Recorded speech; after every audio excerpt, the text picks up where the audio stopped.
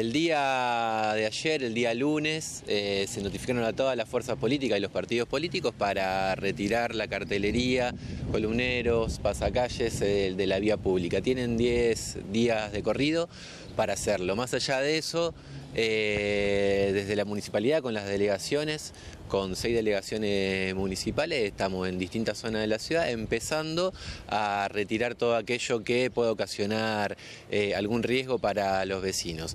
Empezando por las calles principales, por las avenidas, por las arterias eh, más importantes y entrando, ingresando hacia los barrios. Sí, por las inclemencias del viento, también porque vamos a recuperar toda la cartelería, sobre todo lo que se conoce como los columneros, que tienen, es un material plástico, porque la idea del intendente también es, junto como hicimos con las tapitas, eh, poder reciclarlos y poder hacer mobiliario urbano para los espacios públicos de la ciudad. Si las fuerzas políticas, eh, pasados los 10 días, no retiraron la cartelería, serán intimados y multados como corresponde.